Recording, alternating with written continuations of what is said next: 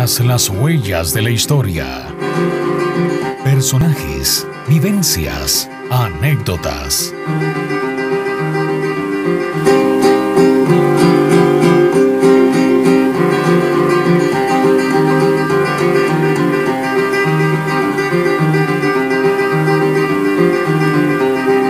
Él es Joaquín Delgado. Nació en Belén, vivió en Atenas, un día de tantos vino a dar hasta Pejivalle de Pérez Celedón y luego a San Isidro del General.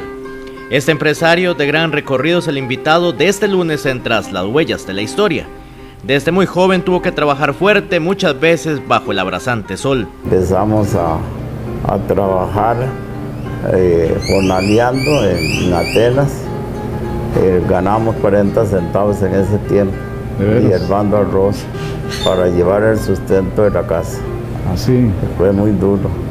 A través de los años se nos hizo, se nos hizo un poco duro y ya la familia se fue criando y, pensamos en venirnos a un lugar que hubiera bastantes tierras buenas para trabajar. A lo largo de 85 años hizo muchas cosas y sigue haciendo.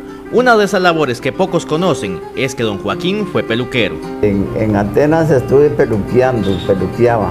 ¿Ah, Y entonces no había un, barbero en, en, entonces yo peluqueaba a la gente sentado en una piedra que ahí están en Peivalle, ahí están unas piedras redondas, grandes, ahí está esa piedra, ahí sentada la gente y yo la peluqueaba con unas tijeras.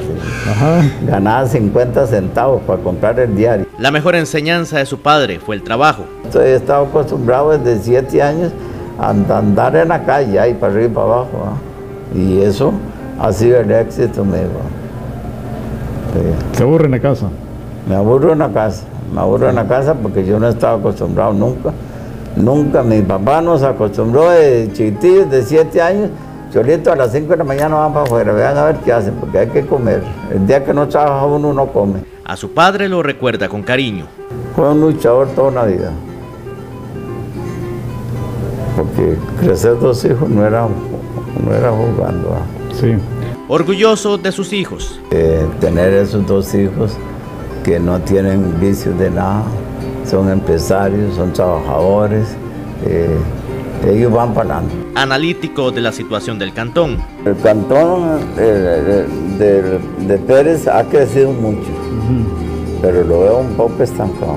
Sí. Ahora después lo veo estancadito. Sí.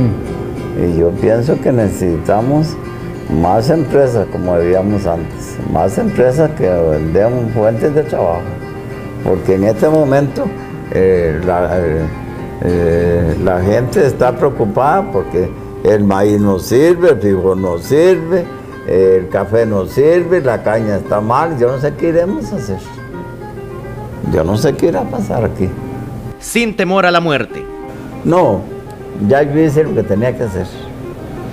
Ya lo que me quedan, porque voy a morir yo. Yo lo que le pido a Dios es que no me dé una enfermedad muy larga. Él le pido a Dios, todos los días le pido a Dios yo eso.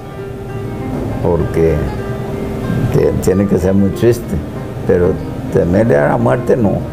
Dios eh, nos dijo, usted nace y, nace para morir. Esto y más, la historia de Joaquín Delgado contada por el mismo Joaquín Delgado. Este lunes 14 de noviembre a las 5 de la tarde por Televisora del Sur Canal 14 en un capítulo más de Tras las huellas de la historia. La repetición viernes 18 de noviembre a las 8 de la noche.